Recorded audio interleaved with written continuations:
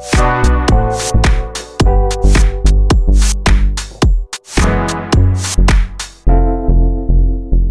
位是卓老师，这位是奶茶爸爸狗狗。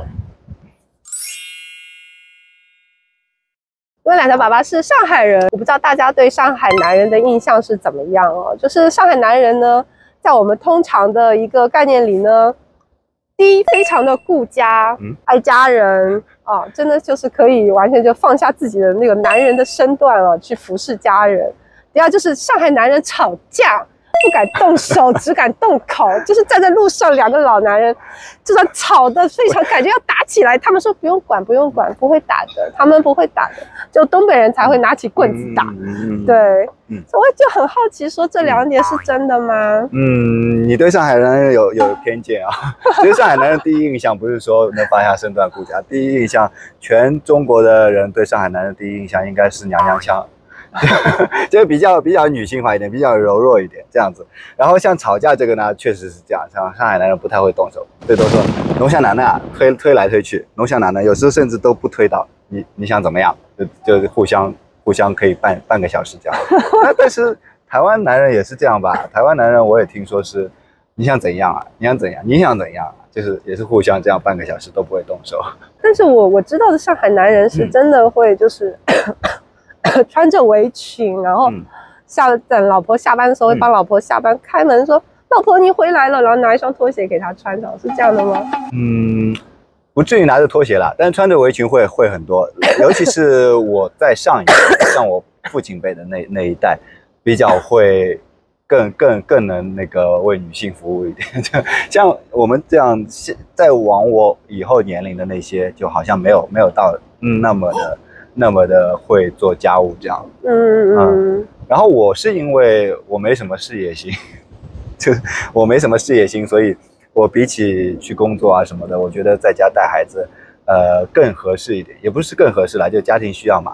然后我也觉得蛮好的这样子，就所以当时跟你的老婆讨论的时候，就直接就说是讨论出来的结果嘛？说你来工作，我来我来带孩子。倒也不是讨论出来的，就是好像就自然而然就这样的。就本来我是来台湾说可以接一些，因为我本身做平面设计、广告设计，然后可以接一些 free 的工作，嗯接大陆那边的案子。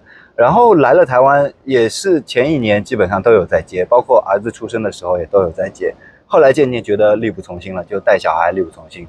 然后我也很喜欢跟小孩接触，也很喜欢，我本身很喜欢做菜，呃这是我个人喜欢，呃不是说上海男人都喜欢。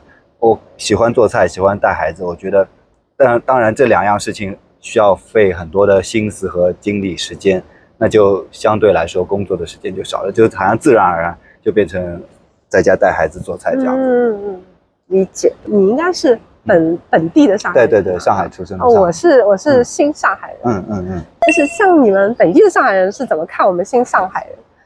会有差别吗？嗯，我直接说啊，其实像大概二零呃二零零几年的时候，上海有一个很有名的论坛，叫做 KDS 宽带山，有一个上海本地的论坛，然后它里面出现了一些针对外来人不太好的、不太友善的词，叫做外地嘛，因为我们的大陆缩写就是 WD，然后 WD 正好是一个硬盘，一个硬盘的厂商，所以那个时候会对一些外来人叫做硬盘人这样子。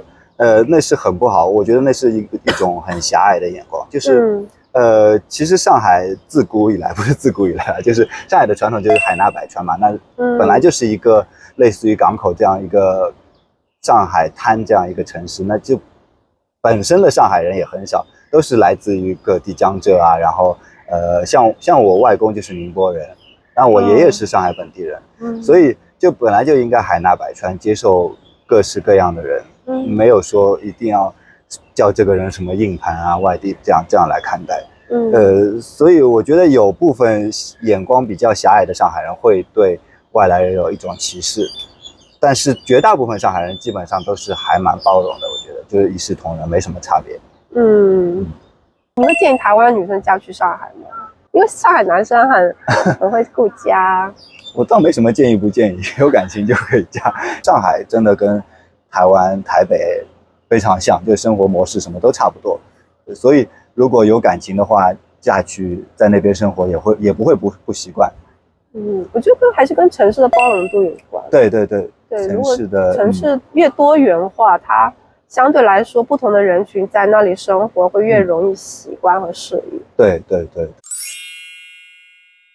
那我们接下来一起来聊一聊，就是奶茶爸爸还有我在台湾的这衣食住行方面的一些情况好了。嗯嗯。嗯，其实我觉得现在来说，衣不是只是保暖的这种衣服，就衣已经是可以泛指一些购物方面的，或者是呃外在的一些时尚类的东西。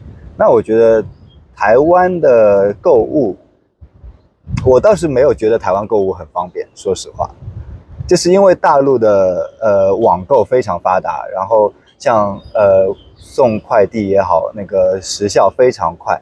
然后价钱也很低，台湾人力很高，然后像像我虾皮买东西送费都要六十台币，哎、你你现在有用淘宝吗？有用有用，我现在我现在虾皮我也用过，然后我发现真的就是这个运费啊，就是超商取货啊，我对就觉得说相对来说还是没有那么方便。对我还是会选择用淘宝。淘宝当然它用的时候还是会有关税的问题。对对对对，但是你知道吗？淘宝它其实，呃，它也有专门就针对台湾用户做一些优化。嗯它那个我用的时候，它是有那个满二百四十九人民币吧，就可以包邮。嗯对但它没有包税。但是今年的九月份，嗯整个九月份，嗯我在购物的时候，它都是包税的。哦它有个活动都是包税，哦所以假设淘宝它还会在平台还会有一些优惠活动出来的话，我个人觉得是可以使用一下，费用上可以节省很多。走集运更省。那还有像一些，我来到台湾，其实刚刚开始的时候，因为也是碰到疫情嘛，然后很多市场不开放，那其实台湾买菜相对来说，我觉得没有在上海方便。嗯，因为我在上海买菜非常习惯网上下单，就是我在下班的路上想一想晚上要做什么，嗯要吃什么，然后就马上买，然后到家就已经能送到这个菜，我就现做、嗯这样子。那台湾就可能要去市场，或者是有一些家乐福或者全联，它有当日送，但是那个就是要达到一定金额才可以免送费这样子。嗯，对，呃，这一点我也感同身受，因为原先真的在上海生活，就是被被搞的，就是人有点懒啊，嗯嗯就是因为就是对很懒 A P P 真的太好是是是用了。嗯对，当时我前面影片有提过叮咚买菜，因为我真的觉得很好用，对，价格非常的划算。那相对来说，刚刚来台湾的时候，因为虽然呃，就是我们家那边也有传统市场，但是呢，我个人是不太爱去传统市场。嗯当然，当时也是因为有长辈会去买，所以也没有这个习惯。嗯但现在自己有独立的小家，然后有孩子呢，就要自己去市场买。我觉得很神奇耶，就是我觉得人的心境会变。就是我原先真的很不爱赶热闹，就是人一多，我看到人头在那边窜动，我整个人就觉得嗯就想就想快点离开。但我现在可以挤到人头里面，然后去挑我要的菜，哦，就是而且还觉得说还蛮惬意的嘛，对对那对对种感觉对对。对。我觉得真的就是一个环境养一方人吧，反正你到这个环境，你你你入乡随俗，你就会习惯这样的生活方式。所以我现在让我去菜市场，我也蛮习惯的。而且这边菜市场有一个特点，就是我觉得每个摊主的记忆都非常好，你去过一次，他们都会记得你。是哦，是我，因为可能我背着女儿的关系，他们就印象比较深。然后像我买肉的一个固定的摊位，他都会知道，我叫他切猪排的话，他都会帮我捶好，他就就已经不需要问我了。哎、嗯那你觉得台湾人对于时尚方面嘛，像他们对于奢侈品啊什么的，背名牌包包啊这方面，我路上看的话，其实我觉得还好哎、嗯有也有啦，对蛮多的，LV 很哦多，哦很多吗？蛮多的、啊。哦，我倒觉得没有上海那么多，对，没有上海那么多，真的。有也有。嗯，哎，可能还还有一个问题，我们没有去那个市中心那个对，也没有去市中心上班的地方好好的走一走是。我们是做 YouTube 的，不过还有带孩子，没有太接触社会。对，也许你走到那一圈，你会发现概率又很高。但是我是之前看过有一个呃采访台湾人的节目，他们说台湾就是好像没有很在乎名牌，没有很很非常在乎名牌，很多人会更偏向于一些手工的小品牌、嗯。设计师的一些小品牌这样，嗯嗯，就没有很追那些大牌。但是像嗯。大陆好像这个风风气还是蛮严重的。对对对，就是像我以前有经历过一次，就有一家公司面试，他们说去面试的女生啊，呃，就看你有没有背背名牌包，如果你背名牌包的话，比较会录取。当然，他有他的说法是说，呃，你的格调比较高，你的对生活品质要求比较高，那对我们的广告的成果也是比较看重，会注重细节。他是有这样说法，但我觉得这好像也不是太好。我我觉得就是说，像我个人是更加的追求它的材质，就是不是它这个品牌本身。嗯因为买奢侈品的人，他很肯定不只是说它的品质很好，而是说它那个背后的那个品牌价值是很大的嘛，对对对对不对？那这是我个人追求的，我个人是追求材质的东西，舒服啊，嗯还有它嗯耐用性啊嗯等等，品质是好的。这样追求奢侈品的人，我个人觉得应该是有两类人，一种是。呃，他是相信这个品牌本身它的的价值，还有它嗯本身这个品牌它的可以信赖的程度，嗯，所以他才会去买这个品牌，他是他的忠实者。那我觉得这个也是蛮正常，他只要有这个经济能力，他去买这是正常的。嗯嗯嗯，还有一种是因为他内心非常的空虚，嗯他需要那个用品牌的价值去对对对对去提升他自我的价值。对，那这样的情况下呢，他再去买这个奢侈品，有可能就会超过他的一个经济对对负担。对对对，那这样这样去追求的话，就是一个无底洞。有一种攀比的心态对，这是一个攀比的心态。这个心态不一定就是说一下子能看出来，但是它隐藏在你里面嘛，虚荣，嗯隐藏在里面，那这个也可能会造成一个群体的一个一个一个问题。对其实就是一个对对长期的一个对对对群体会对对对对对产生问题。所以我觉得是有两种。嗯，我们自己希望说自己是一个良性的发展，一个社会是良性的发展，仅此而已。否则，奢侈品它它的那个价值就对对对对对对对，对不对？你不可以，你可以去诋毁它的价值，对不对？我是这样理解的。的确，相比较之下，我们能看到说周围的环境，台湾人不会故意去比较这个奢侈品。对，这点很少。嗯，不会很少说从头到脚就是那个奢侈品，觉得就是像棵圣诞树一样这样挂着，这样比较少。对。那我就会看到大家是比较在意生活本身的。嗯，那大陆的确有很多的有钱人，甚至是暴发户。嗯那有一些人，他的气质透露出来的，对对对就是这个这个暴发户的金钱的气质，你知道吗？对，并不是他本身这个个人的那个魅力，嗯所以这这也是有有差别的。你就追求什么，大家是可以感受得到的。对，是。说说台湾的吃的，其实吃的话，上海吃的也很多。，对对，但是呢 好开心啊！那 这两个我觉得吃的都很多，但是台湾的其中更大的优势是因为台湾的那个便利性，啊啊，就是到处都是吃的，早餐。上海也很多 但是如果像我餐厅住我住在那个稍微郊区的地方啊，就不太方便。哦，就是关于吃的话，我觉得不管是台湾还是上海，我觉得吃的都非常的多，选择余地也很多，然后不同的风味啊，嗯还有早中晚啊，各种选择，还有甚至是夜宵啊什么，嗯对不对？夜宵来说，台湾确实比上海多。上海到晚上就就九点以后，基本上很少吃到东西了。我觉得酒吧只有外送。嗯，对，你要吃点实在的东西就蛮少的。嗯，但台湾夜市非常非常多。对。然后另外一方就是台湾真的很方便，就是你走到哪里都是，就是都有吃的，对，而且选择很多。一间一间全是吃的。然后我觉得台湾的吃的有一点就是跟上海相比，它的下限非常高，就不太会吃到很难吃、很很雷的餐厅。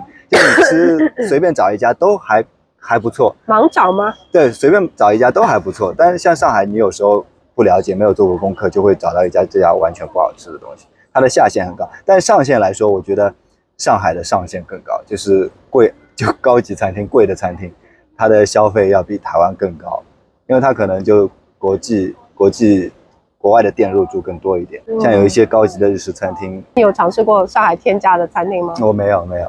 那我吃上海到人均消费一千多人民币的，已经我觉得很贵了。嗯 就已经舍不得花钱，基本都别人请我吃。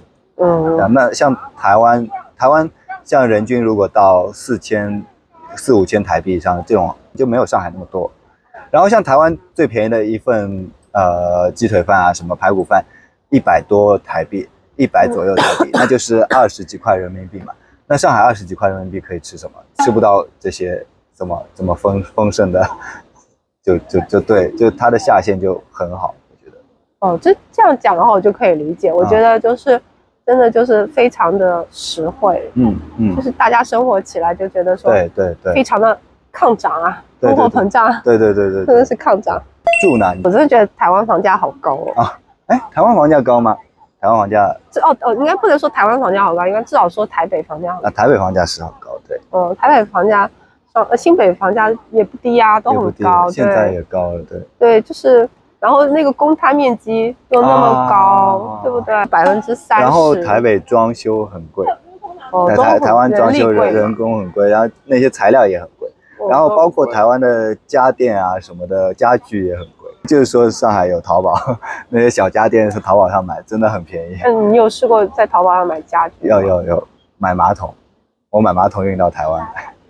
我是装修的时候，我家因为两个卫生间，然后我买了两套呃马桶，还有洗手台、镜 镜柜这些东西，我买了两套，然后发货过来坏掉一套，一套完全坏掉，然后我又买了一套，等于总共买了三套，这样算下来，加上运费的价钱，还是比台湾买两套便宜。同样品牌来说的话，还是要比台湾便宜，买三套加上运费，还比台湾买两套便宜。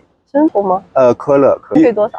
运费两千多人民币，你加上两千多人民币还要比台湾便宜，是很容易坏掉了，就看运气了。哦，但但其实我那个时候没经验，其实要找人打木架什么的包好，其实就还好。哦。对因为台湾很多东西没有呃实际生产的，都是可能进口的这样，所以就就成本就上去了。呃，我好像今天跟卓老师也聊了蛮多，但还是意犹未尽的感觉。嗯其实还是像两个在上海生活过的人，对于台湾还是有很多看法的。